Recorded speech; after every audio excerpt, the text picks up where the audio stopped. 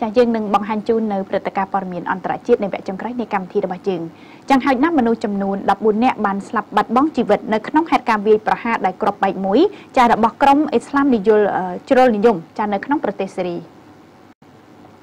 ក្រុមអ្នកខ្លំមើលសិទ្ធិមនុស្សរបស់ប្រទេសសេរីនិយាយថាការវាយប្រហារដែលគ្រាប់បែកមួយបានសម្លាប់ក្រុមបះបោសេរីយ៉ាងហោចណាស់ចំនួន14នាក់នៅទីស្នាក់ការមួយរបស់ក្រុមអ៊ីស្លាមជ្រុលនិយមដ៏មានឥទ្ធិពល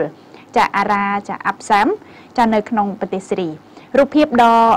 រូបភាពវីដេអូបង្ហោះលើបណ្ដាញអ៊ីនធឺណិតដោយទីភ្នាក់ងារសារព័ត៌មានចា Smart News Agency បានបង្ហាញពីទស្សនវិជ្ជាក្រោយការវាយប្រហារនិងការខូចខាតនៃអគារព្រមទាំងរជនក្នុងភូមិមួយនៃខេត្តចាអ៊ីលប៊ីបចាភៀកខាងជើងនៃប្រទេសសេរី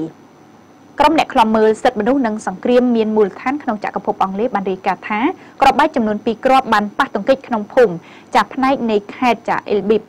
ក្នុងចានោះដែរបាននិយាយថាសេចក្តីរាយការណ៍មួយថាខ្មាន់វិប្រហារតែម្នាក់គាត់បានបើកម៉ូតូចូលទៅក្នុងអាគារនិងបំទុះក្របបែកដែលចងភ្ជាប់នឹងខ្លួនឯងនៅលើម៉ូតូតែម្ដងបណ្ដាលឲ្យពួកឧទាមរាប់សិបនាក់បានស្លាប់និងរងរបួសក្រុមនេះបានស្ដីបន្ទោសក្រុមរដ្ឋអ៊ីស្លាមជាអ្នកចានៅពីក្រៅក្នុងនៃការវាយប្រហារនេះប៉ុន្តែយ៉ាងណាមិនទាន់មានក្រុមណាមួយអះអាងទទួលខុសត្រូវនៅឡើយទេបាទ